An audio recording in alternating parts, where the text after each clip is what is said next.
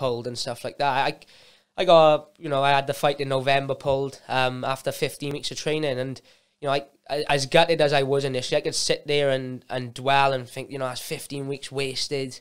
Um, 15 weeks for nothing. That's money spent on a fight camp that I'm not going to get back. Or I can focus on the positive and think, well, you know, you've you've had 16 weeks. You, you've gone you've gone in fight shape. You've obviously Im- improved your, your cardio, your technique, your sharpness.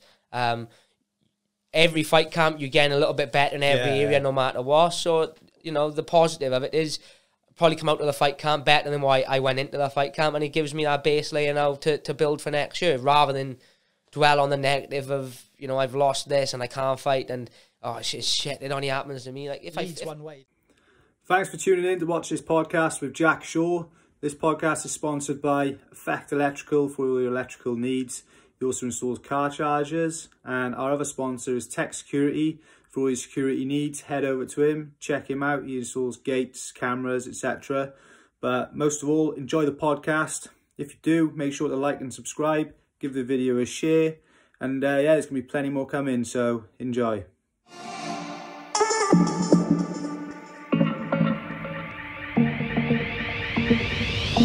Experience Real Podcast. Yeah, yeah, sound, mate. Sound. I'll try not to move around on this chair too much. I fucking can't keep still. Oh, mate, it's a ha- literally everyone who's coming here I just watch them go like this. about. Like, yeah, it's like in, it's just natural moving, isn't it? Yeah, thanks for coming in, mate. Appreciate it.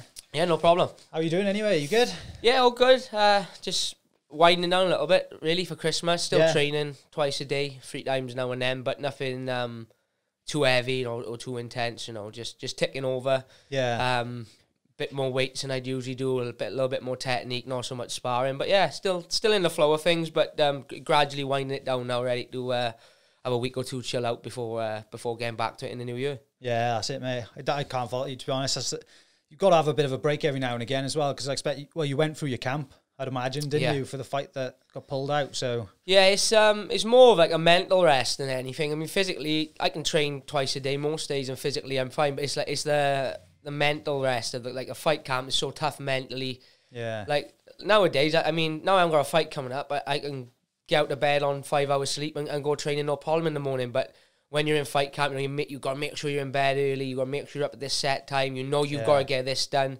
We're sort of out of fight camp. Got a little bit more um, flexibility, I suppose, in your training and, and in your schedule. So it's more of a mental reset than anything that I find. Yeah. I, I mean, I never struggled to motivate myself to train, but it's just nice to have a little bit of a relax and, and, and not sort of after you know, because when you got a fight coming up, you're constantly thinking of that fight. No matter what you're doing, it's always in the back of your mind. So to have that sort of little bit of freedom is, is just a nice little reset for a couple of weeks. Um, but by the time January comes, I expect I'll be missing fight camp then, so I want to be back in fight camp. So it's a, it's sort of a catch twenty two. You know, when when you're in fight camp, you're looking forward to the rest, and when you're out of fight camp, you can't wait for fight camp to start. So Yeah. you I- it's one of them. I bet you like naturally like overanalyze everything when you're in camp as well. Do you just course, concentrating yeah. on that goal? Like, Yeah, like I mean, now you could you could go and have a have a roll with the boys now, and you know if if you can work a little bit of stuff, you can have a little play about. If if you you have a role where you get sort of get stuck on you a little bit, it's not the end of the world. Whereas in fight camp, you're training for for, for a certain person and for that end objective. So.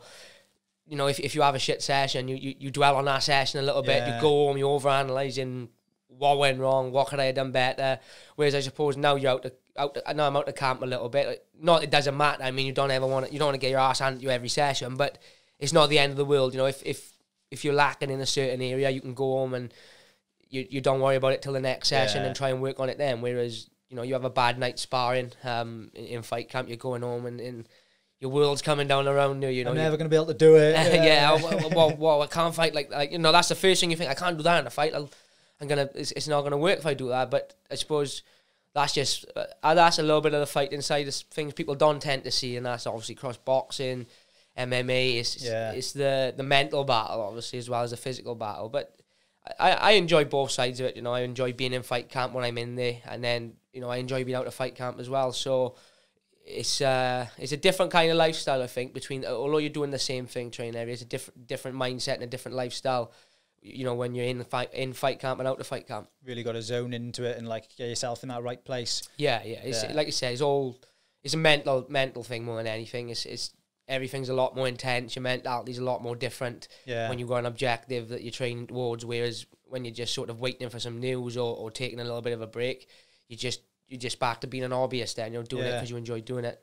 I expect this um, last couple of months been a bit stressful. Is it like not knowing where the fights are pulling out and stuff? Even your last fight, there was a few opponent changes for that one, wasn't there? Yeah, it's it's been a mad year to be honest. Like I mean, the, I can't say the whole year has been stressful, but obviously fight wise, it hasn't been the best year. I mean, I had the the show in March, so London got cancelled, uh, UFC London because of the the, Oh, the, the gutting, wasn't it? COVID. So that that was um that was like the end of the world pretty much to me. I you know I was really looking forward to that one as a team. I got I always have a big following, um, and obviously at the time there was no sort of you know crowdless events. It was it was just running as normal. So I was looking forward to, to taking a big crowd up there and you know showing off a bit of the following I've I've sort of built over the years, and then that got stripped away. And I mean it hit a time where early on you was probably the same.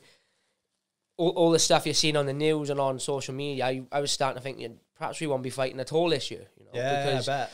I mean, like the the American League, like the NBA, the NFL, the Premier League, the Six Nations, they all just got cut dead, and it was as if to say, look, nothing's going to happen here un- uh, until uh, until this is gone. There was no talk of like bubbles and isolation. There was none of that at the beginning. So that that was a uh, a bit of a tough one because you thought, where, when are we going to be fighting? Um, and then obviously, Fight Island came about, which which was perfect. You know, perfect. It sort of salvaged the year a little bit because I, I went from thinking, you know, I'm not going to fight to they, they've started doing these isolation and these bubbles and Fight Island and people are fighting in Vegas. So I thought, right, you know, we can get a couple of fights Yeah. in this year.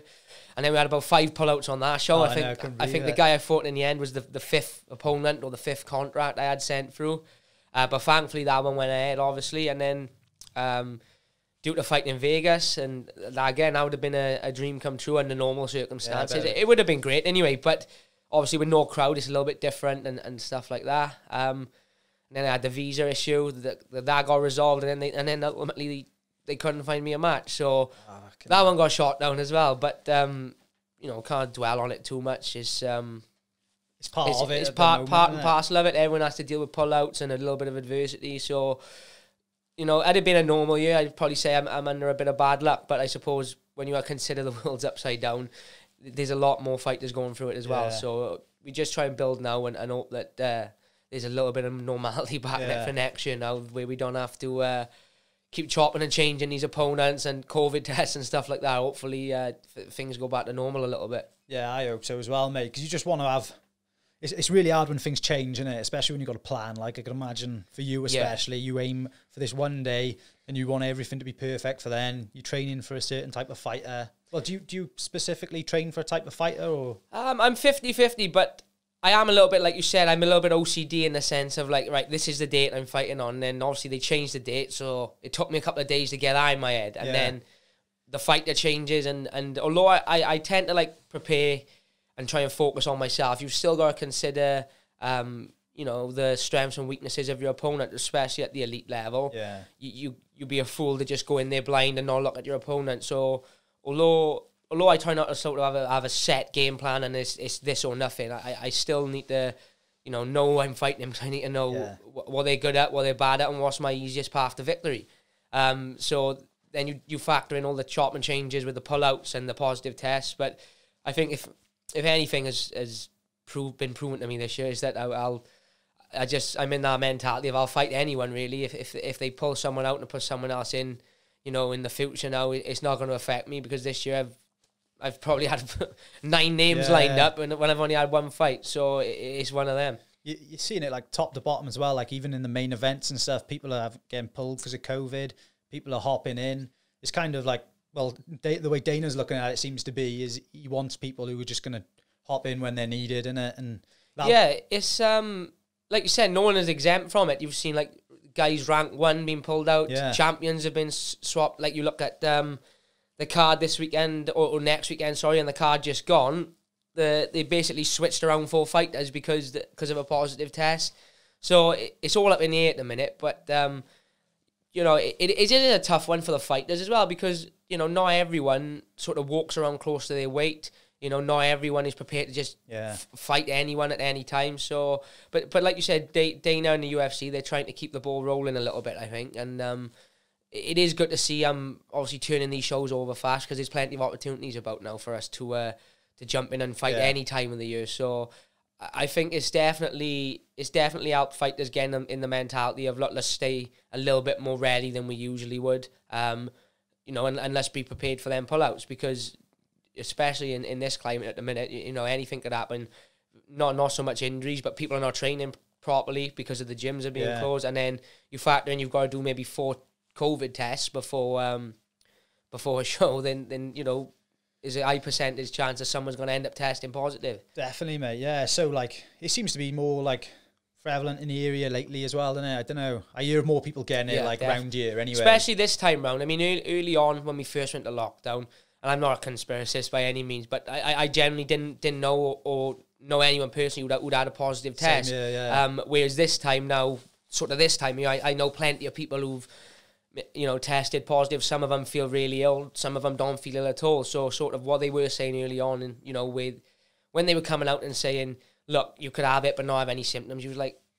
Re- really like yeah, Yeah. bullshit but obviously that is the case because i know friends who, who've felt terrible and had it and i also know people who i've sort of mixed in circles with who, who said look i haven't got it I, haven't, I don't feel ill i haven't mm. got a single symptom and they've only had a test by chance of they've been in contact with someone through track and trace and, and they've ended up being positive themselves so there's um there's a lot lot more to it I think than meets the eye and um they they pr- probably were, were a little bit more right the first time round than, than what we sort of give them credit for Yeah, it does seem that way now anyway when you're hearing more people, then it makes you.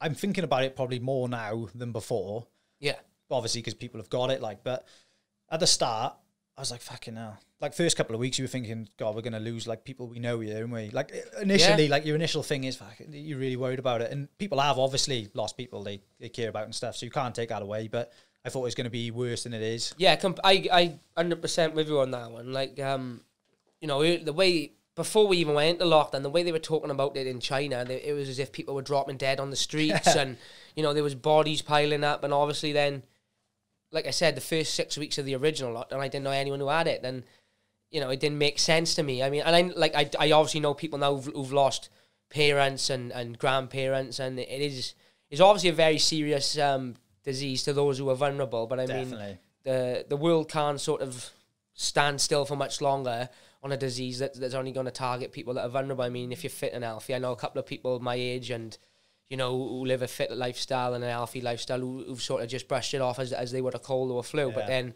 you know I do also know people who whose parents and grandparents have got it and have, have been very very ill. So.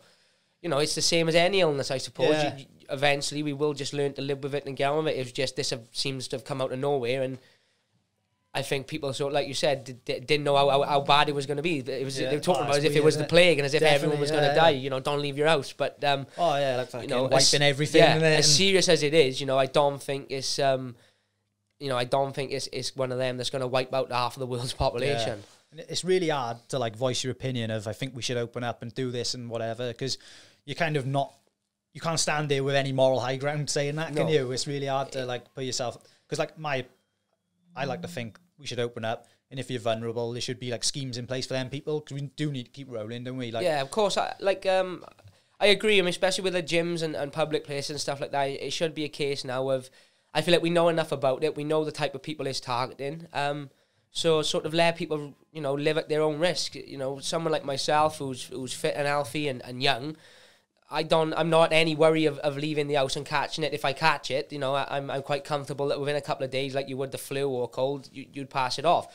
But on the flip side, I wouldn't want my grandmother go going to Tesco's and, Yeah. and going and, and mixing in with big groups of people because, you know, she's 80, 80 years of age. My great grandmother's 90. If one of them catch it, it could be, you know, it, it could be very, very serious. Whereas myself, I, I, I don't think it's, a, it's going to be a massive issue to me if, if I did catch it. So I think people should be given the option, you know, train or, or use the gym at your own risk or, you know, even simple things. You want to go to the cinema, do it at your own risk. You've Personal got, Yeah, sign, your- sign your disclaimer, and if you're happy to crack on, then crack on. If you're not, you know, no one's going to knock you for that. Stay, stay in the house, isolate, and, and, and, and do what you feel like you got to do. But, um, you know, like we said, we, we can't stand still forever. Eventually, eventually, we've got to we've got to get the ball rolling again. I said you, you can stay as safe as you want to personally. If you want to stay safe, you can stay at home, can't you? Of course you can. and that's fine. Like I'm happy.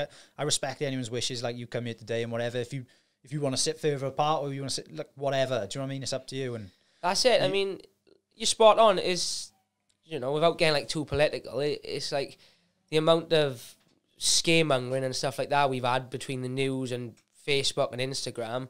I mean, even now, like if I if I see a post now on Instagram and there's something about COVID, and I get like this warning sign come up, and it's like Yeah, you can same click this here. link and it gives you all, all these facts about COVID, and it's like, you know, we, we know what's what. Like like you said, it's sort of let us run run our own risks. You know, if you want to isolate, then then great. You know, no one's Yeah. gonna.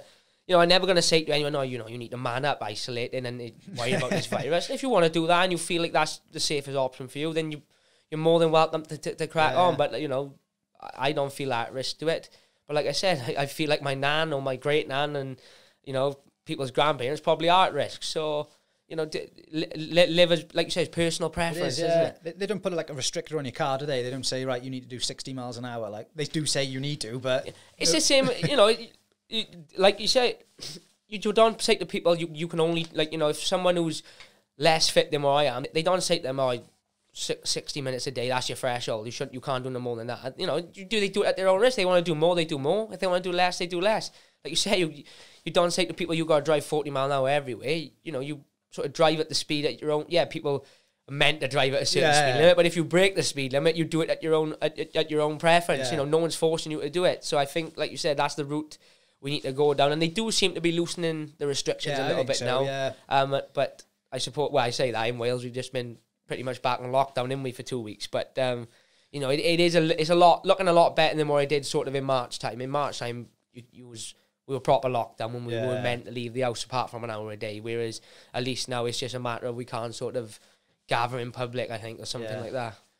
I think like hopefully 2021 things will turn around. I think there's been loads of positives. People though, like for me personally, it was time to reflect and realize like where I was going wrong in life and stuff because you just spend all your time like working, trying to earn money, or like, and you don't concentrate on yourself. Like, so I think for some people, I know loads of people who've actually like some people have gone one way or the other, and some people Yeah. can't act being in their own head, and other people have. Yeah, it's, really um, helped. It's like everyone, you know, everyone lives a busy lifestyle. You know, most people are working like nine to five, five, six days a week, and sort of for a period of time they've gone from that to, to doing nothing. So they've gone like you know, people have had more time to spend with their kids. Maybe not spend with their distant family, but their in-house family. Yeah. Um, more time for themselves as well. The amount of people I know now that they've started, you know, running and cycling and training and Yeah, definitely. eating a little bit healthier because they've had that time to themselves now. Which if if this didn't happen, they they you know I I know people now who are running half marathons who before the lockdown never put a pair of running trainers on in their life. So class, innit? it, it does give people time to reflect and, and sort of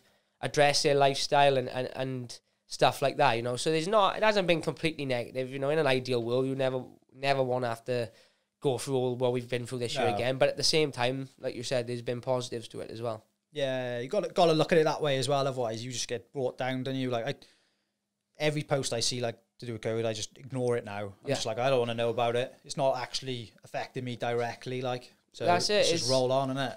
you got you know every eh, mindset is everything. If you if you don't want to if you don't want to be staying positive if you want to focus on the negatives constantly then you turn into a negative person. You find yourself in more negative situations. Definitely. but if you if you sort of approach life with a positive mindset and a positive outlook then you know think things will naturally go a lot better for you. Is you know like you said you can look at things one or two ways. You can either focus on the negatives or Yeah. think you know maybe think well you know I'm gonna you know focus on positive in it but you can think well that didn't go great but positive of that is this this and this so Yeah, like you said it, it, it puts things into perspective for people I think this year you can sit there and dwell on it, like, can't you? And that's just going to make it worse. And I don't know about you, but like since I've, I've tried to like switch my mind to just think like, right, yeah, like you said, that's not good. But where am I going to go from here? Like, am I going to let it affect the rest of my life? Am I going to do it? No, let's fucking move on and start afresh. Well, exact. That's exactly it. I mean, just speaking like from personal things this year, like having fights pulled and stuff like that. I,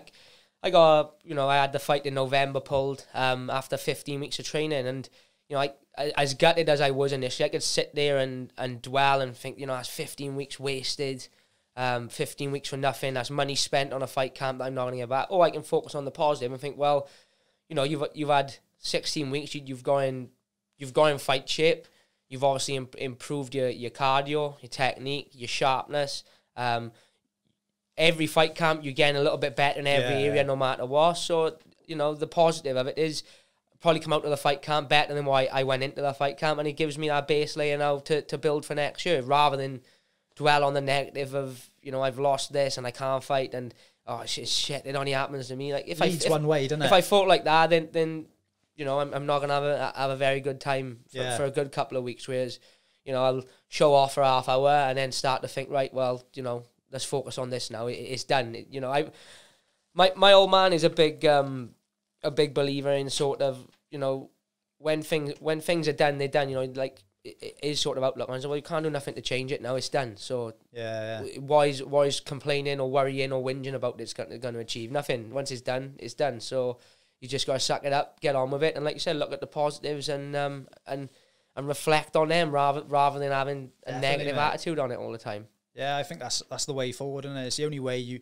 Also, like when you're doing that, I feel like you shut off, your eyes are closed, and you're not really looking out. Whereas when you like take it in and you go, right, that's happened. Breathe, relax. Yeah. Like let's go from here. You open up and everything just starts to look okay again, and like get out that hole in it. There's positives in every situation in life. Um, look, it's again, it's it's it's saying the same thing. I know, but if you if you got a negative outlook and a negative attitude, the negative things will will Yeah. come your way. And I'm a big believer in stuff like that and karma. And if you approach things, you know, with a positive mindset, then nine times out of ten, it's gonna go a good way for you. Yeah. Or if it doesn't go a good way, it'll lead to something that does. You know, everything happens for a reason, and why why dwell on the negatives when there's positives to, to be looking at?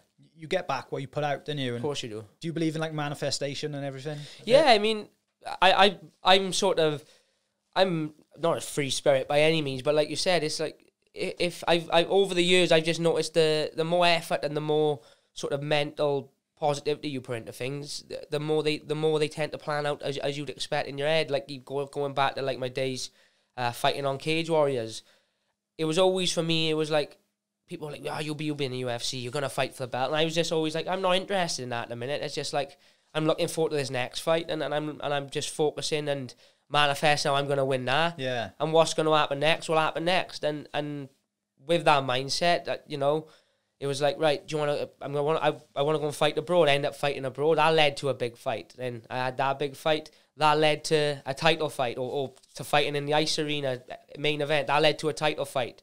Then that led to uh, a defense that ended up blowing my profile up because I had all these big media opportunities Yeah. because I was a champion, which then obviously led to me going to the UFC. And it wasn't like I was sat there manifesting at, at want to know I'm gonna right by 2019 I'm gonna be in the UFC. I'm gonna do this. Yeah, that was always the plan, but I was just always focus on what's in front of you. You know, what not what's on what's on three four years down the line. Yeah. Focus on what's in front of you and enjoy the experience and be present in the moment and, and, and enjoy it for what it is because you see so many fighters um you know they retire. And you can tell they have they've they haven't sort of lived their career in the present. They've just always been focusing on what's next and focusing on what's going to happen in three four years time before you know it their career's over. And that's why you see these guys coming back when they shouldn't be coming back because they miss that feeling. Whereas i think i'm always so present in, in everything i do is, is when i do decide to knock it on the head i'll look back and think well you know i enjoyed every minute of that and, and i took Yeah. every minute of it in. And, and that's that's something that I think a lot more fighters, and I'm not trying to be like, uh, the, the, I'm not obviously the first person to say this, I'm not trying to be that guy, but there's a lot more fighters that, that should be doing that and enjoy it for what it is and, and enjoy the little things a little bit more. You know, there's so many focus on, I want to have this many million in the bank and I want to, I'm going to win the UFC belt. And it's great to have those visions, but I mean, realistically, at 1 and 0, 2 and 0, you can't really predict. You know how much money you're gonna make, whether you're gonna be the UFC champion. Yeah. Just enjoy the enjoy and focus on winning the next fight. And the more fights you win, then the more likely that end goal will will, will come. But obviously, you don't want to just sort of enjoy the beginning and enjoy the end. You need to enjoy the middle bit as well, and that's something I've always tried to do. I, I totally agree with you. That's life in general, isn't it? Of course, it is. You yeah. can't you Yeah. can't put your happiness on I'll be happy when because otherwise like if you never get there You'll never be happy that way because you know look look look at these people with, with all these millions in the bank and you know like do you think they really sat there and thought I'll be happy when I got 100 million in the bank so what happens when they get 100 anything. million in the bank? Do you think they're going to have eternal happiness? They're going to think Yeah. yes I've done it. And, and I mean I've been here it was like you know I was thinking you know when I, when I win the Cage Warriors belt now that'll that that'll that'll sort of mean the world to me. And yeah it did. It did it did for a week or two. And then before you know it, then I was thinking, right, when am I going to defend this belt? And I'd love to defend this. I'd love to defend this belt. Then you Yeah. defend the belt, like, yes, I've defended the belt. I was thinking, right, I'd love to go to the UFC now and fight there. Then the UFC have signed me, and it's like, well, that was great for two weeks. Now I'm thinking, right, let's get this debut sorted now. I to have this. Yeah, So it's always, you know, you got to enjoy the next step. It's, it's not like you're ever going to reach a stage in your life, I don't think, where you f- where something just a flip switches and you, and you think, right, that's it, I'm done, I'm happy. Yeah, this is peak happy. No, it's, it's never go. Like life Yeah. doesn't go like that. There's always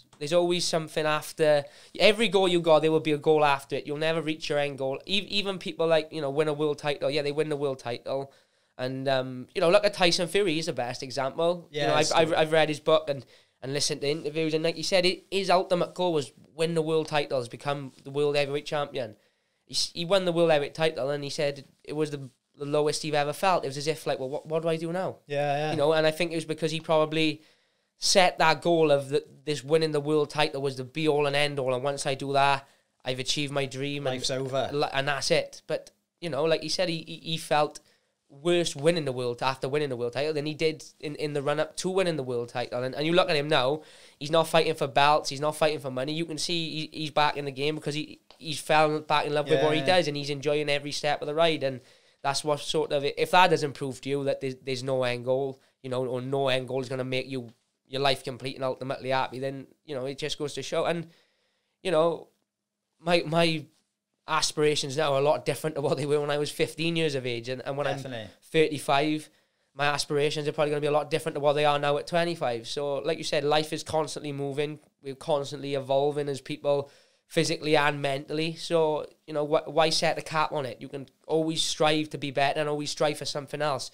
As no matter how big the goal is, it'll always be something after it that you can think Definitely. even if it's a step down, like you know, you could win win the UFC world title and retire. There may be a goal after that. Some I don't know. People, you know, you see these athletes. "Oh, I'm going to run an half marathon or do a triathlon. Is that as big and as publicized as winning a world title? No, probably not. But does it make them feel just as good doing it? Of course it does. Feeling's a feeling, isn't it? Happiness is a, is, is a feeling. It's not uh you know it's not something that's that's in the dictionary or something that's written down that, that every single person is going for the same thing. It's it's a feeling and it'll always come and go. You know, they'll you'll you'll always reach where you want to be, but then you'll think right, well let's go a little bit further. you Yeah, may get yeah. knocked back, but you'll always push back to that same stage. Is why put a cap on it is what I always think. You know, there's too many people I think try and focus on on one thing and that's the be all and end all. And then when they realise that one thing isn't the be all and end all, it's a it's a it's a tough rut for them to get out of then. Definitely, mate. You see it all over, like you said with Tyson Fury, like loads of rich and famous people. Once they get to like the top, they fall apart, don't they? Because they they, they're like, fucking hell, this isn't what it was all made up to be. And I'm sure like the pressure then as well, and it to stay there. Well, like Conor McGregor's another good Yeah, one. Like, definitely. He always spoke about he wanted 100 million in the bank and he wanted to be the, the double weight champion, and, and he achieved that, you know, in, in minuscule time. It was unbelievable what he done. Now, you look at him five years down the line, he's probably made more money from his businesses than he's ever made from fighting, Yeah. and he's made a lot of money from fighting. And what's he doing now? He's back on the title run, want, wants to win that belt again. So it's not like because he won the belt, that was it, and he sort of thought, right, I'm done. I, I, Yeah. I've done it. I'm happy. He went away, you know, did, did what he did here and there, and now he's back, sort of on a similar path, striving for something else now. So it just, if it just goes to show, you know, you you're never gonna be like you're never gonna do one thing and that's gonna make you happy for life. No, al- you, you should always set yourself, you know, little goals in life, wh- whether it's winning a world title or sort of getting out of bed and, and walking the dog around the block. There's always little things you can check off the list. To some people, it's it's giving some people the same feeling, isn't it? Course you know what I mean? yeah. Like it's, it's it's what's relevant to you and what you expect of yourself, isn't it? Well, like there's no one who can, you know, if you have never fought in a, in a in a ring or a cage, you know, you're never gonna know what that feeling is like, and and you know, it is an, it's a unique feeling. But the happiness and, and joy and the thrill I get from that, some people get get that from, you know, hitting, hitting their targets in work and, and, and, and earning a bonus or sort of getting a promotion or, or, or doing a 5k run. Someone who's never done a run before, they go out and finally hit that, oh, yes, I've done a 5k run. You know, they get the same feeling of happiness. But you know, even something as simple as that, uh, what happens, the, like, say someone has never done a, a run before in their life, they hit their target of 5k, what happens then? Are they going to be happy? No, they start thinking, do you reckon I can do a 10k run? Oh, mate, yeah. Then you do the tech, do you reckon I could do an half marathon? Do you reckon I could do a full marathon? Do you reckon I could do a triathlon? So people are always going to push on past past their targets. It's just a matter of, you know, Dom, I, I just believe in not making anything the, the be all and end all. Just you know, there's same with fighting. There's a lot lot more to my life than than, than fighting in the UFC and and and fighting for a living. There's a lot more things in life that make me as happy as, as winning Yeah. an MMA fight and, and you know entertaining a crowd does. So that, that's that's just how I look at things. You know, there, there's plenty there's plenty of targets and goals and things that make us happy in life. So why sort of restrict it down to one or two I things? agree. I think it's great, mate, because you seem grounded as well, which is good. Because a lot of people in your position, like, me, let it go to their head or whatever, in it, and just like involve themselves completely in that. Whereas you seem to understand that there's more to life than just this. Obviously, this is your current goal, like, and you want to achieve yeah. that. No, no doubt. But to know there's more the other side of it, like, you're never gonna. Don't be wrong. You, I know you want to pin it all on it, and you want to have success. Like, you know, pretty much guarantee you will. Like, you're doing really well. Like, so. But yeah, to know there's more to life is, is a good That's it, and I put that down to um like a good a good support unit. You know, good friends, good family, um, coaches and teammates. You know, the boys who coach me and the boys at the gym, they would never sort of let me my head swell and, and let me think I'm this this this big superstar. You know, and, and the same with my girlfriend and, and my mother and my sister. Let them three alone uh, are enough to keep me Yeah. grounded and, and you know let me That's know you need, though, let me know innit? when I'm not too too big for my for my boots and and that's what you need. That there's too many pe- people that sort of surround themselves with yes men and Yeah. and and clingers on. And you know I I think I put me you know people always say I'm, I'm humble and grounded. And I put that down to you know I've never changed the people around me. The people around me now are the same people that was around me when I was a nobody and uh, and was around me when I was a young kid. Yeah. so that, that's why I put it down to you know having a good good support system as well trusting the people who've been there from the start, innit? Because, like you said, you're probably going to get, and it's probably going to get more and more and more. Like people want to take up your time, like me. but you're going to get it, aren't you? Like, yeah, of course. You know, everything come everything comes with a price in in, in a way. Like the the success is great and, and winning the fights is great, but by winning the fights, obviously your, your name gets out there more. By your name getting out there more, like you said, you have more people who, who sort of want to be involved. And you know, I can remember being one and 0, 2 and zero, and it was probably maybe two people are wanting me on, Yeah. on a podcast and want to interview me. Whereas whereas now I get messages every day about you know, can you do an interview? Can you do a podcast? You know, do you want to? do, do, do you want me to do a written? I want to do a written article on it. So there, there's ev- everything comes with with a price. But like you said, you got to surround yourself with people that sort of got your best interest at heart and, and want you to do well and, and want your want your time for the right reasons, Yeah, yeah, not not just for personal gain.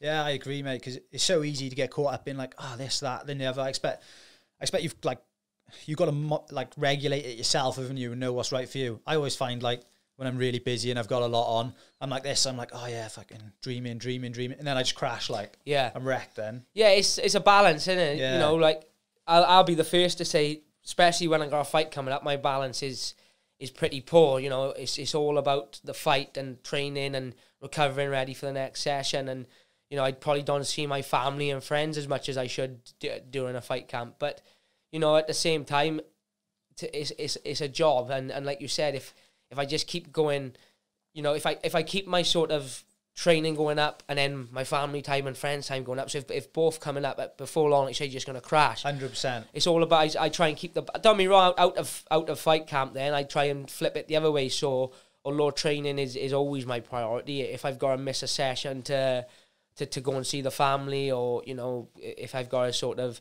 change my training around, or, or sort of not do an interview because I've got I've got stuff on with my girlfriend, and then I'll do that. But obviously you got to have the balance right. You- Yeah. it is a tough one to try and keep everyone happy, but I mean you know we, we get better we get better I definitely get better at it with practice like I'm a lot better at it now than than I was maybe four or five years ago I mean when I first signed with Cage Warriors it was just like train like a lunatic 24 Yeah. 7 fight or no fight I, I was I was just just training constantly whereas I'm training constantly now but I'm doing it the right way you know I'm I've got a lot more more balance in my life, which is uh, why I've, I why I think I'm so happy in, in what I'm doing. I I've seen so many fighters who you can see they're not happy with their with their life. Really, you know, they they're chasing the dream and they, they sort of realize that it's not as easy to, to reach as you think, and then Yeah. they, they- you know they want to go out with their friends, they want to spend time with their family, but they've got to sacrifice that to, to train and have very very little reward for it, especially on like the local scene.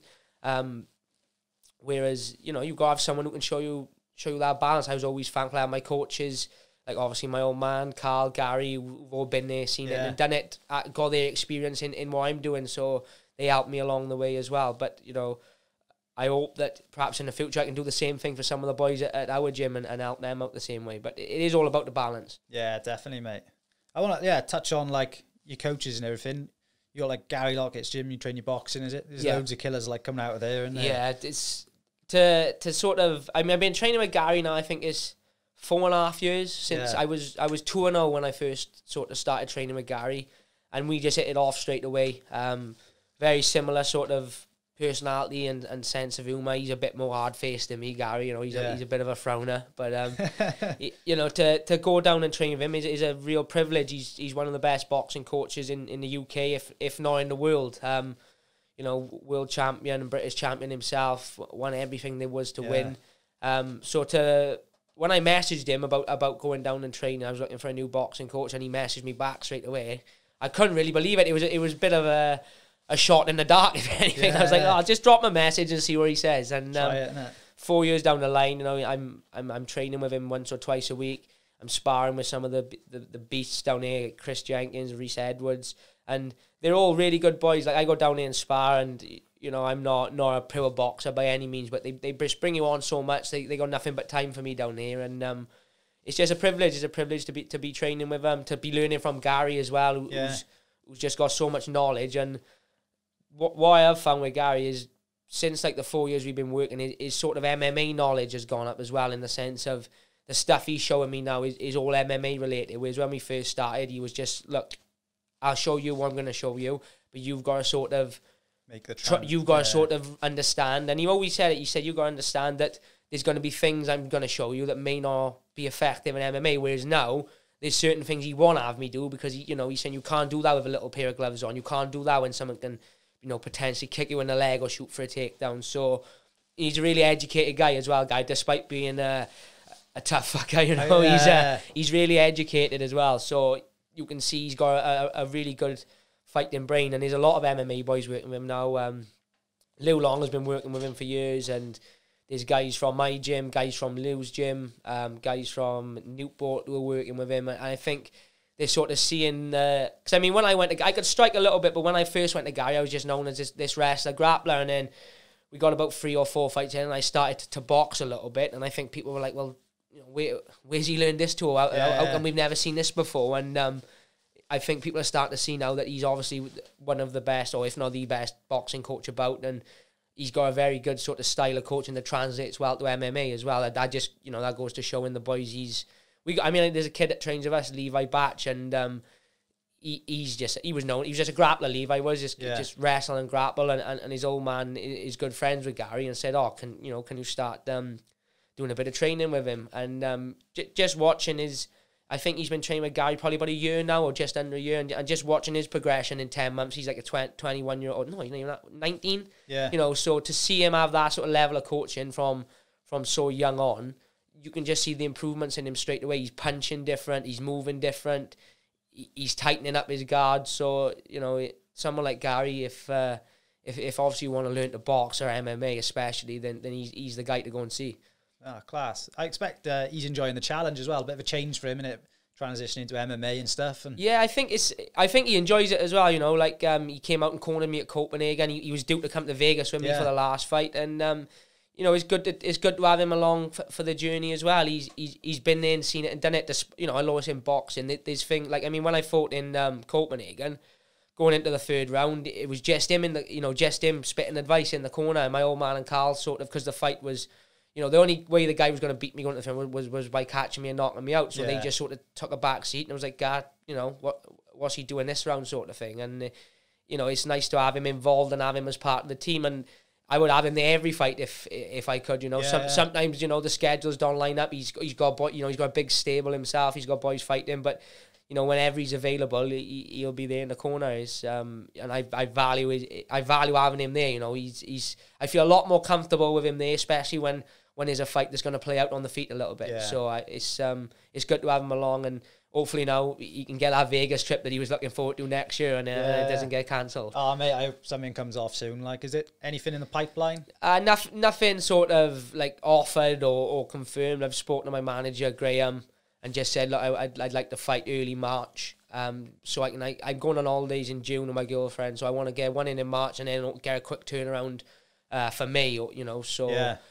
It, it needs to be. I mean, January. I'm in a bit of a situation because January, February would be too early for me after Christmas because I'd like to, you know, I like to make sure I'm I'm fully prepared. But at the same time, I do want two fights before I go away next year to, to put me in good stead.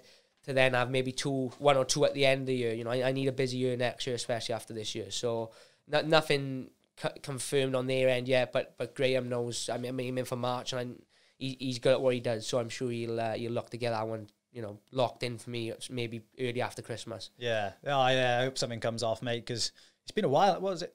Yeah, March now, is it? Is Uh, it? No, July, July, July, sorry, yeah, yeah, July. July. But I mean, it's probably the least active I've been since I started fighting or, or started even competing. I was always, oh, I'm, I've always been active, and I mean, I fought uh, September 2019, and then I didn't fight till July 2020, and I'm probably not going to fight till you know March 2021. So I don't like being inactive like this. You know, I like to like to be busy. If I'm fit and healthy, I like to keep fighting. I, I only ever want to be on the sidelines if if my body's forcing me to through injury. You know, so fingers crossed next year will be a little bit of a. I got my visa now, and Fight Island is, it seems to be like that's going to be a regular thing. So you know, there's no reason next year why I can't get three, four fights. You know, quite quite comfortably. Yeah, yeah, mate. I think it'd be great, mate, to see you fight again. Is there anyone like you want to fight? There's no one specifically. I mean, there's a lot of guys in the division at the minute. It's, it's full of killers. Um, there's guys who mean who are not necessarily ranked, but are, are on the verge of being ranked and, and are very good guys. And I know if I can get a fight booked with one of them, I sort of steal their spot a little bit. Like you got your your Brian Kellehers, your your John Jonathan Martinez, Song Yadong. These are all guys who, who've got names and reputations, but they're just outside of that top fifteen ranking. So if I can get a fight booked with them sort of the end of next year, that puts me there then on, on the on the verge, you know, where going into the to the next fight then I could potentially think, right, let's let's get me a ranked fighter now. You know, someone someone who's ranked like 15, 14, 13 is not gonna not take a fight with someone who's just outside the rankings. Whereas at the minute I've only had two fights in UFC.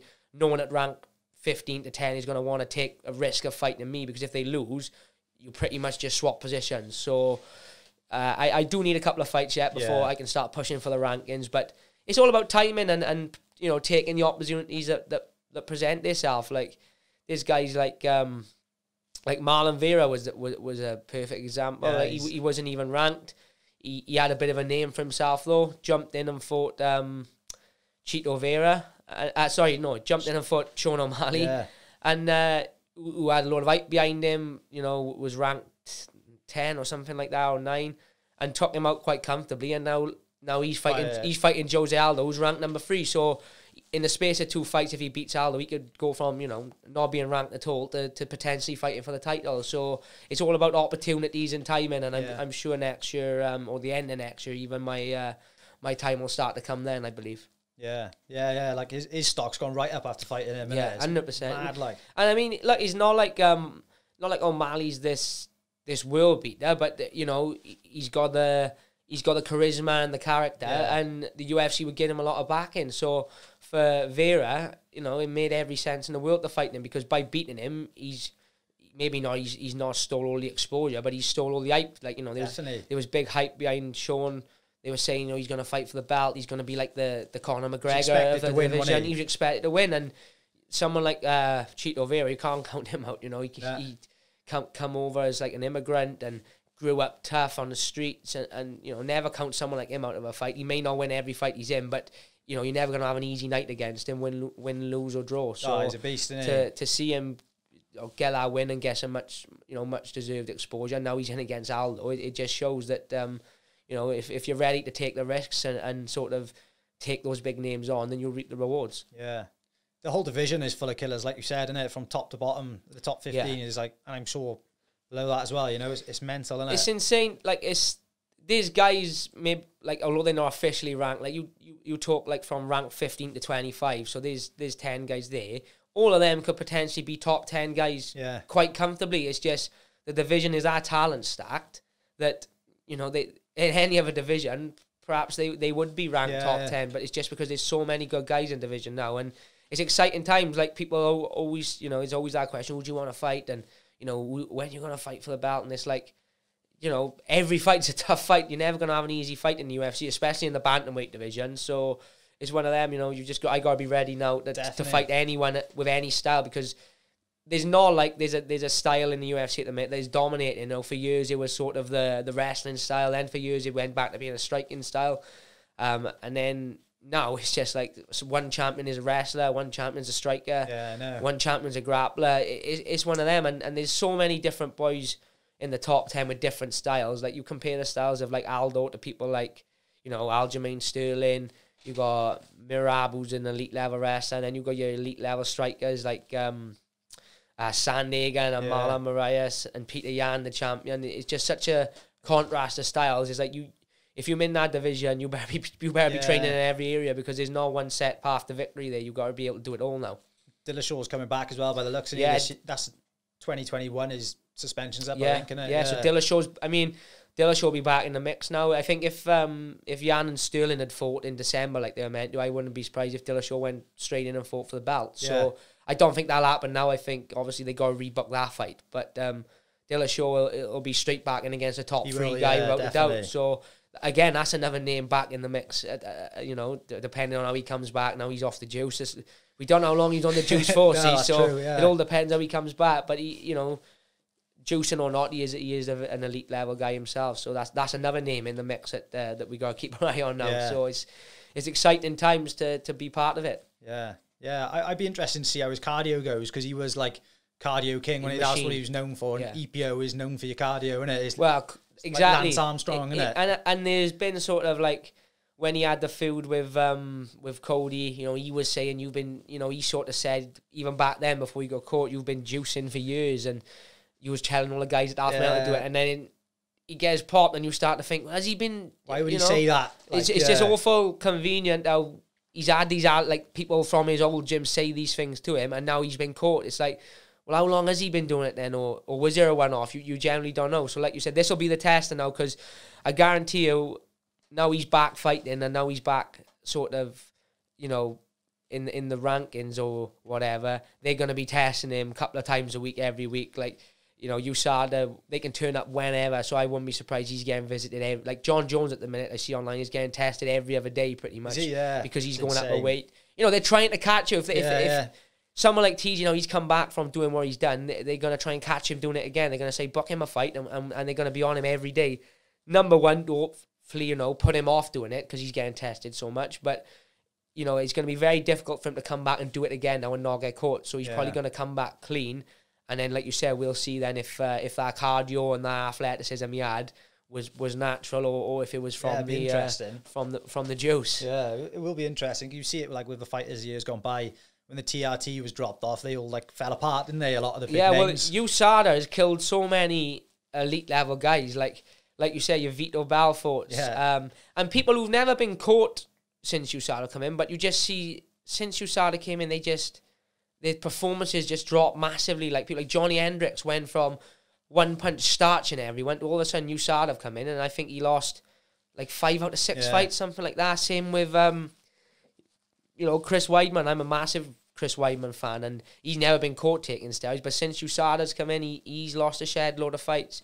And, you know, may, maybe these guys, it could be a supplement thing because, like, when when you get put in the testing pool, you gotta have you gotta have supplements that are registered by USADA pretty Yeah. much. So perhaps these guys were taking supplements that you know and are not registered and it's affecting their performances. I don't know. It, it could just be pure luck. It could just be that Weidman or people like him and I'm just trying to think of other names like Belfort and Weidman. Uh, perhaps they come into the tail end of their career and that's where they're picking up these losses. Yeah. Or it could be that that, that USADA's They made done the them. change, Yeah, like, you, yeah. you just you just don't know. But you know, it's it's obviously for the good, you know, because if people are getting caught left, right, and centre, then then there's a, there's they're worth every penny. They're worth having there because um, you know, it's not ideal when they turn up to your house six o'clock in the morning or you've just finished sparring, you're a little bit dehydrated, and then they want you to, to piss in a cup, and uh, you know you've got to wait around for an hour. But at the same time, I'm all for doing it because if it means the guy I'm fighting is not going to be you know pumped full of gear, then It's an it- unfair advantage, isn't it? of course it is. I've fought guys in Cage Warriors, and I'm looking at them and I'm thinking, you know, I, uh, I'm not stupid. You, you know, when you can tell when someone is, is full of juice, and unfortunately, especially in, in Europe and, and the domestic scene, you they can't afford to, to employ someone like you to, to Yeah. drug test all the time. But to to be at the elite level, it's got to be in place, and um, it's surprising it took as long for it did for, Definitely. for it to actually come in. And I heard, I think I heard a GSP interview uh, a couple of weeks ago, and I think he beat Johnny Hendricks, and then That was a tough fight. he was was, saying that they would- they basically the UFC said, look, we'll sign you both up to VADA, which at the time was the drug testing agency. And GSP said, yeah, and then Hendricks wouldn't sign up to it. And then he said ultimately that's what led to him retiring afterwards. He was like, you know, they they know that people are doing it. If you're not if you're not prepared to sign up to a drug testing thing, it's, it's only for one reason. It's obvious, isn't It's it? obvious. So it, it just makes you think, you know, like it was so rife at one time in the sport. I'm just glad they're about now and that they catch it. Because I mean, Dillashaw, you know, essentially got sparked out didn't he, in 20 seconds, whether he was on the juice or not. But He did, yeah. at the same time, it doesn't make it right.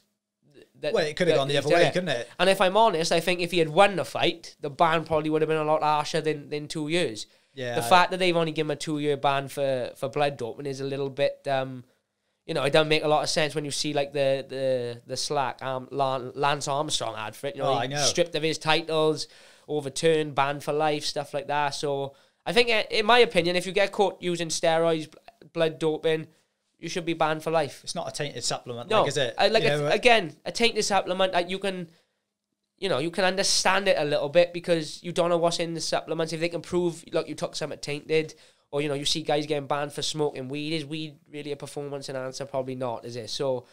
I, I can deal with like the six month bans and the one year bans for, for stuff like that, but to open openly admit that you blood doped for a fight and openly admit you've took steroids, you gotta be banned for life. It, Yeah. it, it just doesn't make any sense. How you- it is crazy, like, because you are potentially going in there and ruining someone else's life as and well. someone like Dillashaw, who's, who's made millions, and like you know, he's a multi-millionaire from fighting. So is is two years on the sideline Yeah. for him that big a deal? Pro- Probably not. probably good for him. He's, It's probably good for him. ups, Yeah, he- like he's like you said, he's had a couple of operations. He's had a chance to reset his mind a little bit. Relax. Two years off has probably done him more good than it has bad. Yeah. and um.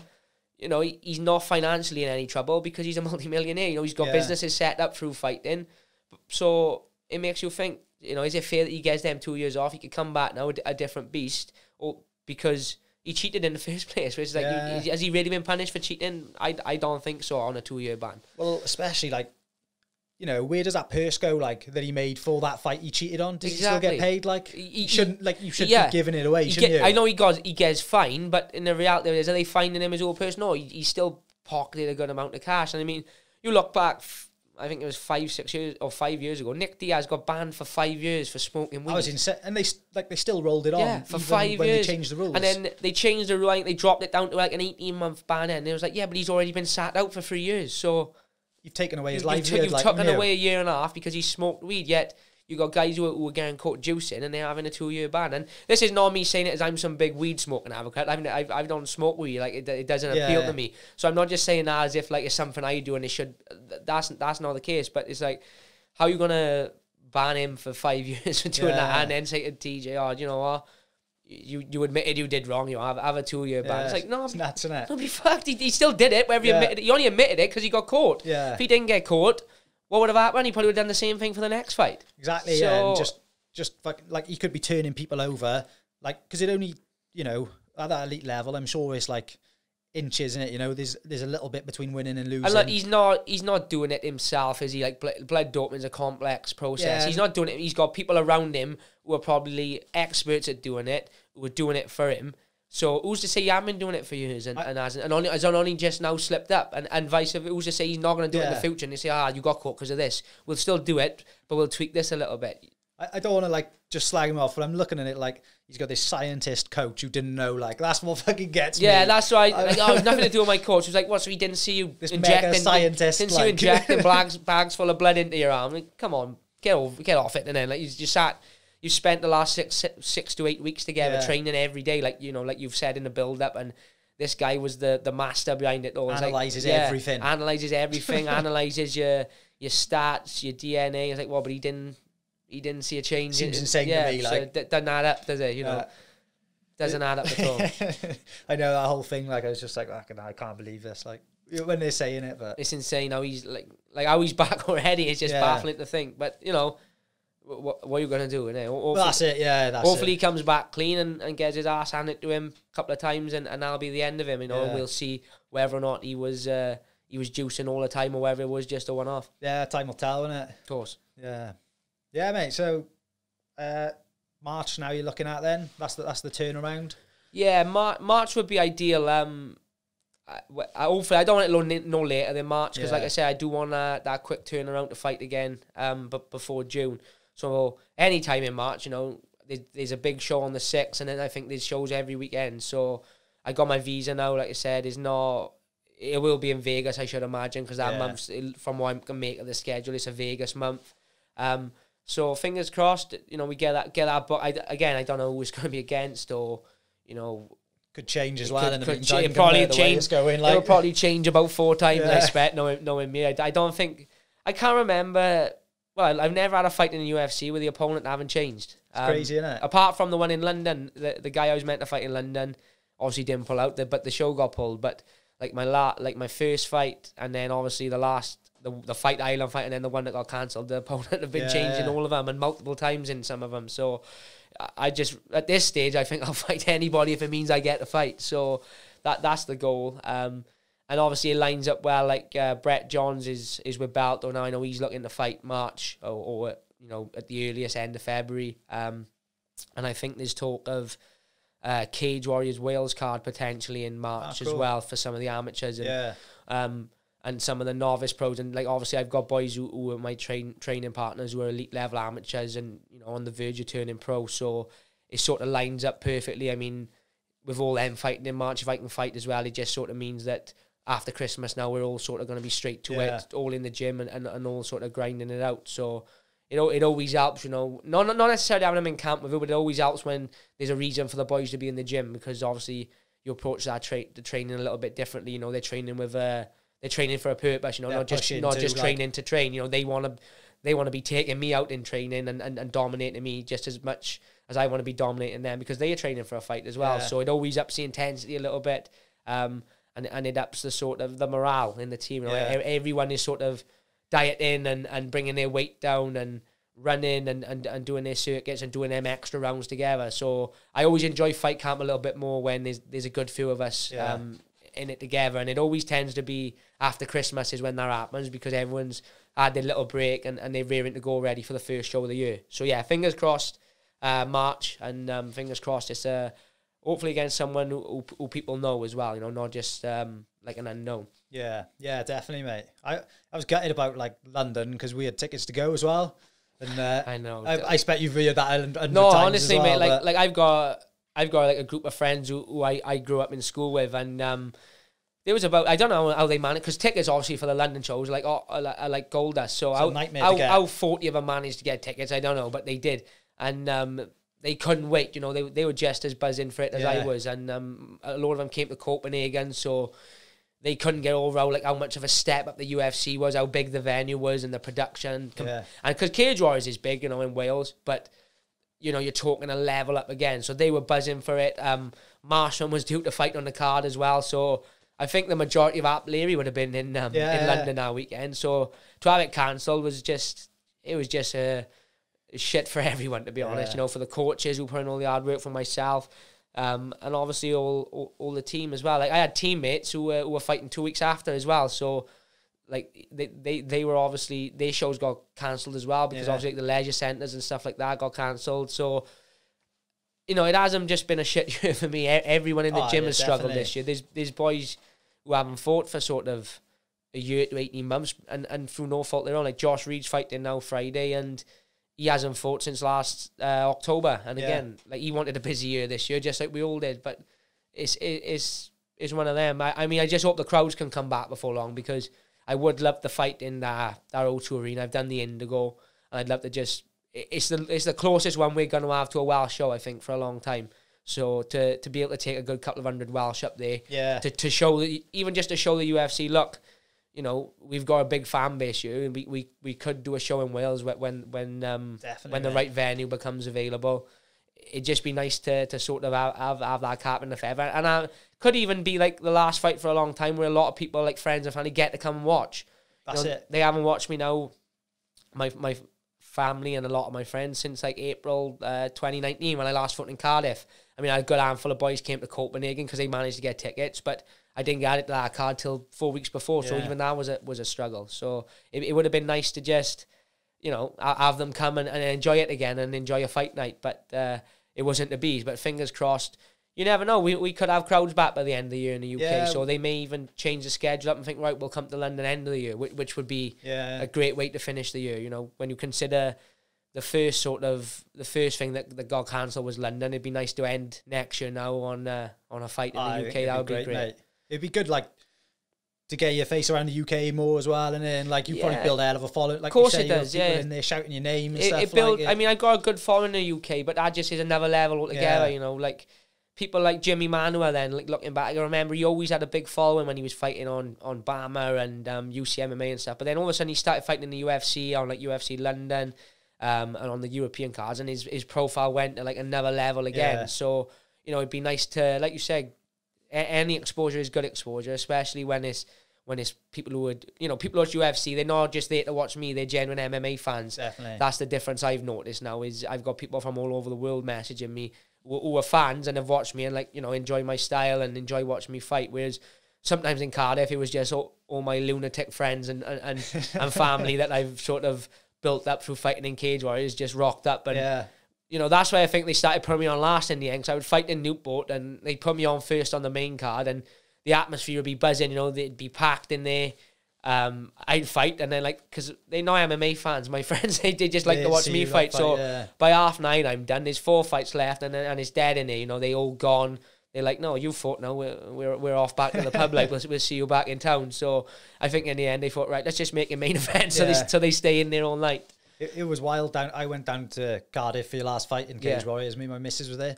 I don't think she knew what the fuck was going on. To be it is um it is a mental atmosphere, but excuse me, I always say to people this um they're not hostile, you know. They Oh, no, they're no. not they're not like uh, it's not like a football crowd and where you go worry about it kicking off. They they're just they they're all pissed up and they're just there for a party to be honest. They're Yeah. they're there to party and enjoy yourself. When I come out they get serious for a couple of minutes. You know, when I won then they, they, they hit the roof and they Oh, it's mo- insane And that then it's and then it's off the Cardiff end to enjoy the rest of the night. So like that's what people have always said to me, like people who I don't even know. They've like, you know, we, we were sat by all your lot and it was just a wicked night because we were sat by them. You know, like Yeah. I, I would have um there's boys from the gym, like one of the boys, Jordan Peak, he sells a load of tickets and uh he fight he was fighting on the amateur cards and and uh, he used to ask um Colin who sorted the tickets out, can you sit my lot? He said by Tank's lot, he said, because they all sort of know each other, but they, they want to be with them a lot to to enjoy the atmosphere, and it'll be like it'll be double the crowd, and then we had to pull a couple of strings, you know, and uh, and get a couple of blocks of tickets next to each other. But uh, I used to love those nights in Cardiff and the, and the Newport Centre. To be fair, I really used to enjoy fighting in the Newport Yeah. Centre because of the way it was laid out, and uh, to be honest, the the boys who uh, who followed me for so long and the fans, they, they I got credit a lot to them, a lot more than than I do. They know I I, I, appreciate them, but uh, to just to verbally give them a bit of credit, you know, I, I think the reason my career propelled like it did in Cage Warriors is because of the fan base. Like yeah. I wasn't a trash talker. Obviously, I obviously had the skills, but I was never like the guy to run my mouth and get publicity that way. I was just always known as the guy as when he fights is is gonna be a, a big crowd coming to watch him. And um, you know, I think that's what ultimately led the Newport show to, to Cardiff in the end because I was selling something like four hundred odd tickets for the for the Newport show. Well, it only seats thirteen hundred people, Yeah. so they were having to give me like a third or, or yeah, like a third of the tickets that were crazy, yeah, available yeah. to everyone else. And they were like, look, everyone else wants more tickets as well to sell to people. It's like you can't have this many tickets, and I was like, well, I can't. what am I meant to do? I can't say no to people.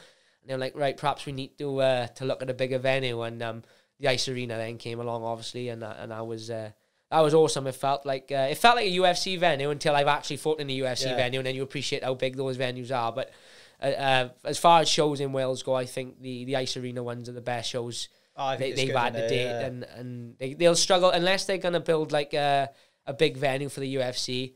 You know, obviously you've got the Millennium Stadium. Then they're gonna struggle to find a better venue than um than the Ice Arena, especially if they can find someone now who can sell it out from. I mean, at the minute, they may struggle with with me being gone, and now Mason has obviously yeah. signed for UFC, so straight away that's a big hit in the tickets gone. Um, but if they can find something to sell out, it's a cracking venue, and uh, it'd be nice to see them go back there again. Yeah, I, I agree as well. I, I'll always go to them events now. I think as long as you can get a crowd in there, it's, it's proper weird setup and because they've just got mats all over the ice, haven't they? Yeah. When I was in there, I don't know if like any of your mates said, I just for some reason didn't expect it to be like that. I was Yeah. fucking frozen. Like, It was, I was gonna say ev- everyone, everyone like the first show was in September, and everyone was like, it was fucking freezing in there. And then they rocked up to the show in December, and they all had like they all they all had a night out with their blaze on, but they all got puffer coats ready to zip up to watch the fight, and uh, they always said like they would never make the same mistake twice. I mean.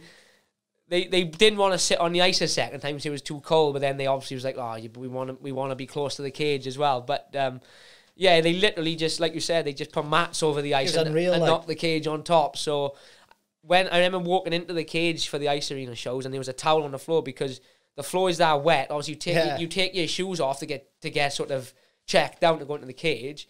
By the time you walk up the steps, your feet will be soaking wet, and the, and the cage warriors canvas is like a vinyl canvas, so it's, it's slippery anyway. So be a matter of, like kicking your feet off before you get in the cage, so you don't have to slip. But uh, like you said, awesome, awesome venue. It's just, it's just hopefully now they can they can build a couple of stars on the Welsh scene, um, um, and and give them a bit of a bit of a push so that they can sell them extra tickets to uh, to sell it out. yeah, yeah. I think like Josh Reed's a good person to get behind, like as well, and he's he, you know Yeah, Josh- came real close, didn't he? Yeah, he like did. The UFC. I'd Josh say. has got a big following as well. Um, you know, he, he had a good year to be fair in 2019. I think he won three and lost one, so you've coming off the year on a win.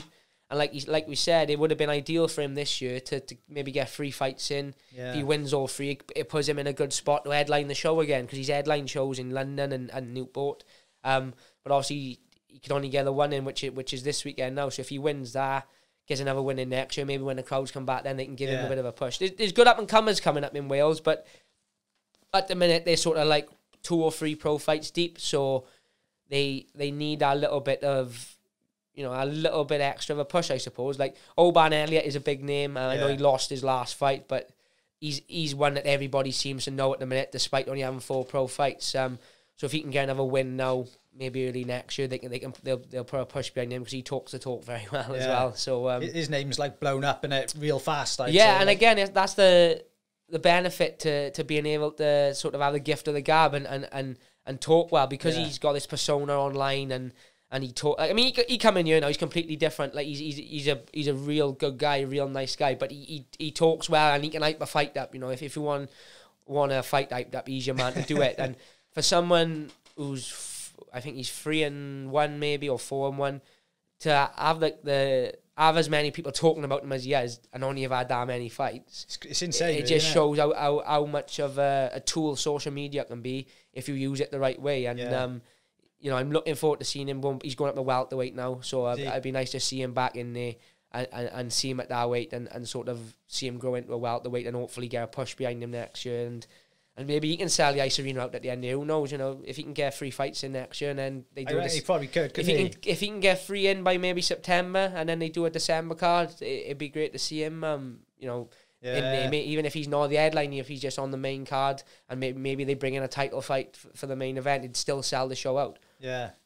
Yeah, I think he could definitely be a big name. Like in, well, he already is kind of, in he like locally and stuff. Yeah, he's a he's a big name now, especially on the local shit. It's just a matter of him sort of everyone knows who he is. He just needs the fights now and, and his apprenticeship to sort of right. Not only is this guy a good talker, but he, he can fight as well. We all know in the gym how good he is. It's just a matter of him getting them fights booked Yeah. and, and rattling them fights off. And I think at welterweight now, he won't have a massive weight cut, so you'll probably be able to to fight a lot more uh, regularly. Whereas at lightweight, he, he did have a big weight cut. You know, yeah, Look- look tough, like, it took him a long. It takes him a good 10, 12 weeks to get down to the weight. Whereas at welter, he could probably fight every six weeks if he wanted to. So.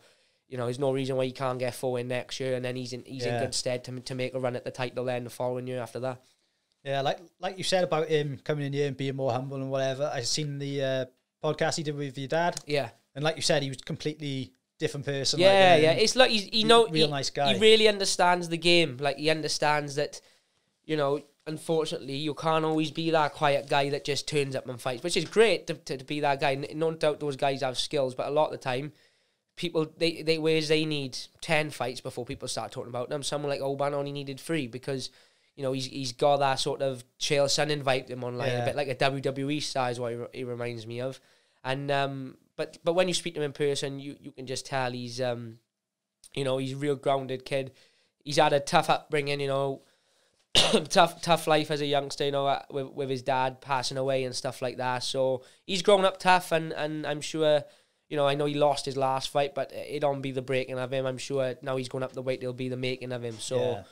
next year is uh, is the year for him. I'm I'm I'm, I'm hoping, and I know the the coaches at the gym uh, see all his potential and what he's got to offer. So it's just a matter of time, a matter of him getting a fight. But Yeah. really, And like no, no one's invincible, are they? Anyone can lose on the night, and Look, everyone loses, especially in this game. You know, very very rarely. I know you got Khabib, but he's he's a one off. enigma, isn't he? How Like, many uh, do you know that have retired undefeated in, in this sport? People like Anderson Silva, even at his prime, had something like three or four losses, even when he was on a 10 fight win Yeah. streak. Um, Jon Jones is undefeated technically. I know, um, not technically, but but you know, Ye- yeah, I know. he is he had that undefeated. one, but apart from him and Khabib, you, look at all the champions in the UFC, they've all got. Oh, and Stylebender, of course. But Yeah. even he's lost at kickboxing and stuff like that. So no one's invincible. It's it's one of them sports where, you know, you sort of learn on the job. It's not like boxing where you have 15 fights against journeyman to build your confidence and, and, and improve Yeah. your skills.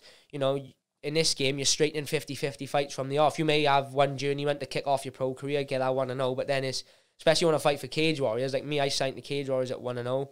Uh, I was straight in the deep end. I was fighting guys 2-0, Yeah. 3-1, 4 and 0, 9-2.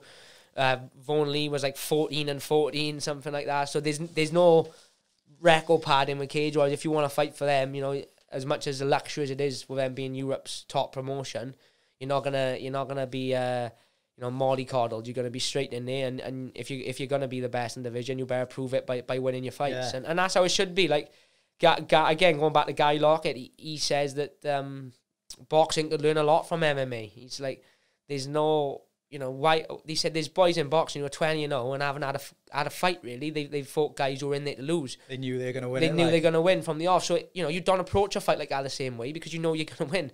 When you're approaching a fight with someone, you think, right, he's in here to, to, to spoil my night. He's in here to, to beat me. Like, like I'm in here to beat him. Then you have a different mindset going in. And um, perhaps perhaps boxing could, could go down that route a little bit. I think, like, why why be 20 and 0 with, with, with no real credible wins? Wouldn't you rather be 12 and 2 or 15 and 2 and Yeah. yeah, you've lost two fights, but you've got 10 of those 15 wins are against good level guys who, who were in there to beat you. That's that's what I would I would I never asked good. for an easy fight. I've never looked for an easy fight. Um I fought one journeyman in my first pro fight because my opponent pulled out the day before the weigh-in and they couldn't get on in in time. Yeah. Um, so it's one of them. It's like you know, if if we can all go down that route, and that's why MMA, you you know, you're one promotion in the UFC or the world's elite. You always see the best guy in a division is legitimately the best guy. There's no que- you'll never see a champion in the UFC, and people are sort of saying, ah, yeah, but he's been he's had an easy run Yeah. because even if he's had an easy run to the belt, he's got to beat the champion for the belt, and then the next fight he's going to be fighting the number one contender. There- there's no like, you know, WBO, WBC, WBU, IBF. There's none of that. Like, oh yeah, but he's a mandatory, and there's none of that in, in, in the UFC. Is if you're number one, you're gonna fight the champion, or if you're number two, you're gonna fight number one. That's how it go. That's the way it should be. And I think if they could do that in boxing, they they make enough money anyway, but they'd make a hell of a lot more money, I think, and sell a hell of a lot more pay per views. Be more interesting for people as well to watch, I think, wouldn't it? Yeah, like I'm a I'm a boxing fan myself, but I, I'm not religious with it. You know, I don't watch every fight that's on. I don't watch. Um, I only watch the big fights. You know, like um, the Welsh boys obviously watching, like your Canelos, your Lomachenkos, Yeah. your, your your Triple Gs. Whereas in MMA, it can be a UFC card on the weekend, and I may only recognize one name, but I'll still put it on because you know the fights are fairly matched, and you know chances are there's going to be a couple of barn burners. Whereas in, in boxing, like this, say Canelo's fighting next week or whatever, I can guarantee you there's probably three fights out of the ten there that are competitive fights. You know, the top three usually on the bill uh, Yeah. are fights where it's 50-50. and even two of them usually there's there's a guy who's got a good idea who's going to win and going to lose, and and the rest of the card is filled with prospects beating journeyman. It's hard to follow, It's hard it? to follow. It's like you watch the Anthony Joshua fights in Wembley or the Millennium Stadium. No one turns up until if Joshua's one out of ten, no one turns up until eight because Yeah. they don't want to watch. You know, they don't want to watch people beating journeyman. They're there to watch fights. Whereas you watch these MMA cards uh, around Wales and the UK, like a Cage Warriors card, it fill very rarely does a Cage Warriors card not fill up till nine o'clock. They're there from six o'clock because Yeah. every single fight on is is is a 50-50 fight. Same with the UFC. Vegas is a little bit different from what I've been told, you know, because they just turn up for the main event. But everywhere else in the world, there's ten thousand people in those arenas from the second fight of the night. So when I, when I fought in Copenhagen, I was first on, and there was the arena was full. Is it, You know, that was that was five thirty in the afternoon, and then they will sit there from five in the in the afternoon till ten in the night, eleven in the night, and, Yeah. and that's because they know they're gonna get their money's worth. Whereas I think sometimes in boxing, like you said, is what six, seven fights on the card. It's just gimme fights. It is. It's hard to follow. Like with the UFC as well. I think they build people really well, don't they? In every fight, they really like stress the importance of who this guy is and who this guy is. Yeah. And I think they do a real good job of explaining where you're from, like your backstory a bit and everything. I feel like it's, they they really invest in their fighters. and you know what you like. You know what you get, I suppose, in the sense of if someone comes to the UFC, like who's the who's the best, who's the best in the division at welterweight? It's like, well, it's the champion. Yeah. It's like, how do you know he's the best? Because he's the champion. Whereas in boxing, it's like, right, who's the best welterweight boxer in the world? It's like, well, you've got five different belts, so he may hold three of them, but there's a guy who holds two, or there's a guy who holds one. It's like, well, what about them two? And then his opinions come in Yeah. and politics, and it's like, whereas with the UFC, ultimately, if if you're the champion, you're the best in the division because you would have had to beat the next best guy to win the belt. Yeah. Um, and that's why the UFC champions very rarely hold the belt for a long time. Again, you got your Khabib and your Jon Jones, but for the most part, the belt is, is jumping around because there's no sort of fighting the mandatory challenger because he's a little bit of an easier fight than, than the big money fight. This this is the guy you're fighting. You know, you were the champion. This is what you signed up for. Get on with it. I think that's why it's so good to watch, isn't it? Because it's so genuine. Like Yeah, and I, I, that's why I think Dana White is, although he can be like brash and outspoken, and that's why people got so much respect for him because he just puts on the fights people want to see. it's a mastermind, if, isn't if it? if a fight builds a bit of traction behind the scenes, you know that there's going to be that people want to see this fight. Nine times out of ten, he makes the fight. You know, he doesn't protect anyone. Yeah. Even like Conor McGregor, I know people tried to say early on Conor McGregor um, had a bit of an easy run to the belt, but the reality of it is then he beat Chad Mendes, he beat Jose Aldo, and then he beat. We had the, the thing with Nate Diaz, and he beat Eddie Alvarez. So may- maybe did he get fast tracked to the belt? Maybe, but ultimately he went on to knock out Mendes, who was a two time title challenger, and then knock out Aldo, who's was the, the greatest Yeah. featherweight, or greatest thing since since sliced bread, ten years undefeated. So ultimately, even if you get the fast track, you you'll get found out in the end whether you're at the level or not, because you will end up fighting the champion. It's not like they fast tracked into the belt and then give him give him some guy no one's heard of for the belt. He had to fight the champion, Yeah. and that's why people love the UFC. And like even before that, when you take it back, everyone's like, "Oh yeah, he had an easy run." We fought Holloway, Poirier. You Like, look, you exactly. You look back on the, the people he fought now. All right, Den- Den- Dennis. Siver maybe wasn't the greatest, but like you said, the two that stick out is Holloway and Poirier, who's well, they both fight fought each other for, for an interim belt. Holloway Yeah. was the featherweight champion. You look at Poirier's uh, Poirier's resume in his last eight fights. I think he's seven and one. He's only losses to Khabib, and, and he's been taking out the best in the world Yeah. consistently. So it's like look back on it and think, was it that easy of a run? Yeah. Prob- probably not. Definitely, and like with Siver and was it Brimage before that or whatever. Yeah. Well, I mean, Brimage was his first fight. and that You've was- got to have them fights, though, haven't you? You can't they just didn't know who he was when he fought Yeah. Brimage. They were just like, right, probably thought this is a new guy coming in. He's the the Cage Warriors champion. Brimage has got had a decent record at the time. Let's chuck him in. Yeah. Now you would say Brimage is never on his level, but coming into his first fight, that, they didn't you? know who he was. Siver, I think Siver was just there to. I think he wanted to fight and, and no one was available, so they put Siver in, and, and that was where it was. But then he went on and fought Mendes and Aldo back to back, and then Nate Diaz twice, and then Eddie Alvarez, and then Mayweather. So, Yeah. you know, insane, isn't it? and and that's probably all down to Dana White again because he was like, let's let's let's chuck. You know, there was no let's Marty coddle him. Let's let's. Yeah. He wants to be the champion, so let's let's see if he can be the champion. What do you think of uh, Mayweather's latest fight? Ah, yeah, hell of a fight that's gonna be. Um, hell, it's insane. it's, it's mental and it just like it's just nuts that you think you on just know the result, don't you? you Like, think on paper, like you've got a guy who's had two exhibition fights, who's a YouTuber, who's famous for being a YouTuber, and he's fighting now someone who, who's considered by a lot of people as um, the greatest pound for pound fighter ever. Some Yeah. people call Mayweather, and I, I'm one of those. I'm a big Mayweather fanboy. Like I, Yeah. I'll fight his corner t- t- till the end. And now he's gonna fight Logan Paul, and his 50 pound weight difference. It's just gonna be a. It's not gonna be a a fight. is it? spectacle, It's a spectacle. It's, it's to make them both a shed load of money, and you know, people can say and slag it off all they want, but I guarantee you they'll still watch it. Same as Roy Jones and Tyson. here, on the, probably, I'll probably watch it. Like, same as Roy Jones and Tyson on the weekend. Everyone they too old. It's a piss take. You know, it's this and that. And I was one of those people. I didn't slag them off as such, but I was like, oh, you know, you can just you can visibly see they're both past it. But what happened. I, I put it on and watched it. Uh, And it wasn't actually that bad. Like no, it wasn't. watch, it fair. wasn't, and it and it was what I thought it was going to be. You know, they wasn't in there trying to kill each other. You could see that Tyson was ripping the body, but you could see when he was coming up to the head, you know, he wasn't trying to knock knock his block Yeah. off. And do you know what? The way I look at it is, if it's gonna, if, if it gives two 50 year old men a bit of motivation to to continue to live an healthy lifestyle and, and stay in the gym and get fit and Yeah. healthy, then then good on them. And if they can make money from it in the process, then who are we to say they're not they're not entitled to? You know, there's a want for it. People are buying it. they've both dedicated their life to the to the sport. I know Tyson's a bit of a lunatic in his day, but him and Roy Jones, are, you know, someone of my age never got to watch Tyson and Roy Jones in their prime in a massive fight. You know, Yeah. I've watched Roy Jones against guys against like Joe Calzaghe and Enzo Mack, but he was obviously come to the end of his career. I, I can't ever remember what I can remember my dad watching Tyson and Lewis, but I was too young to remember what happened.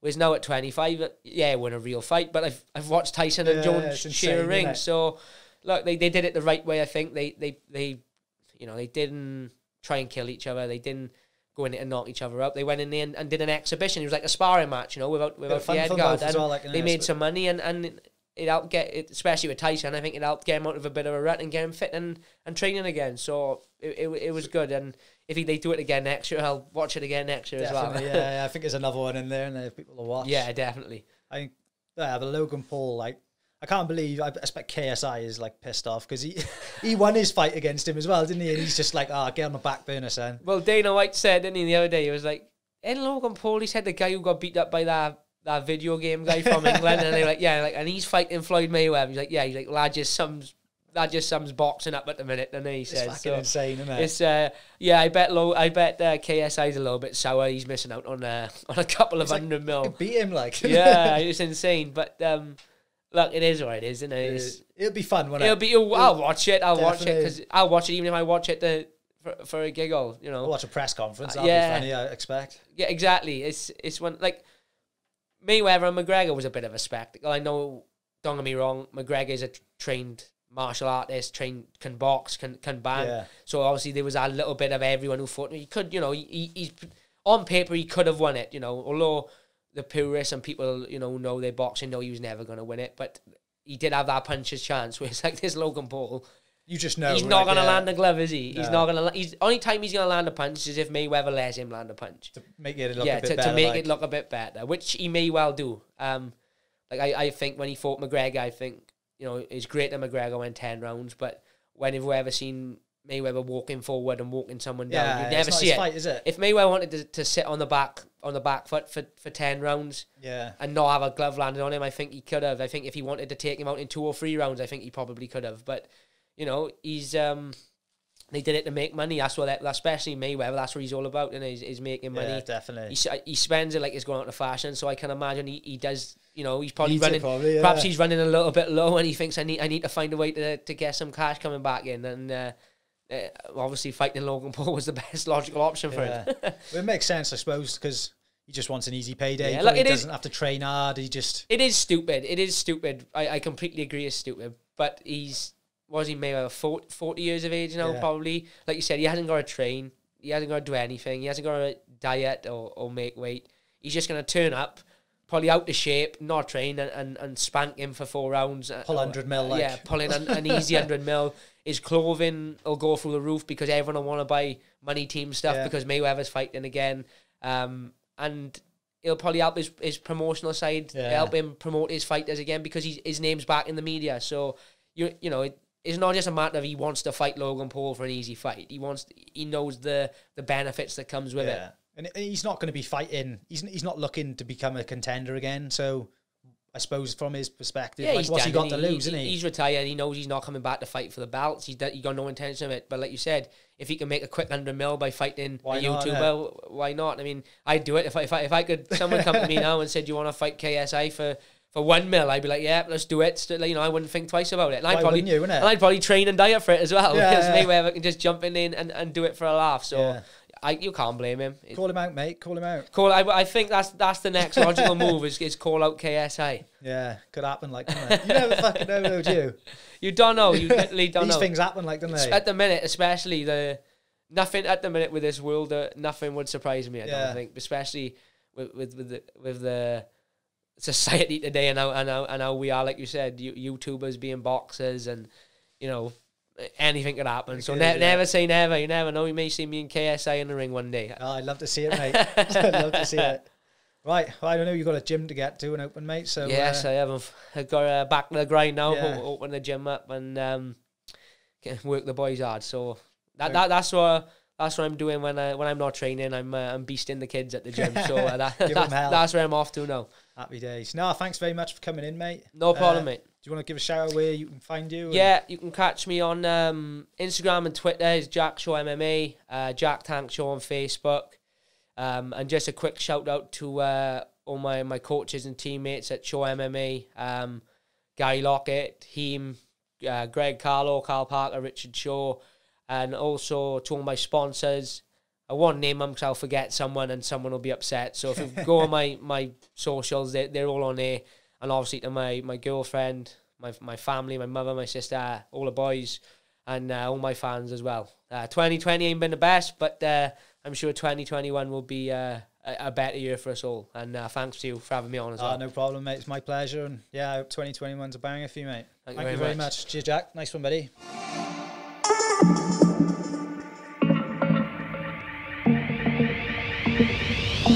Experience Real Podcast.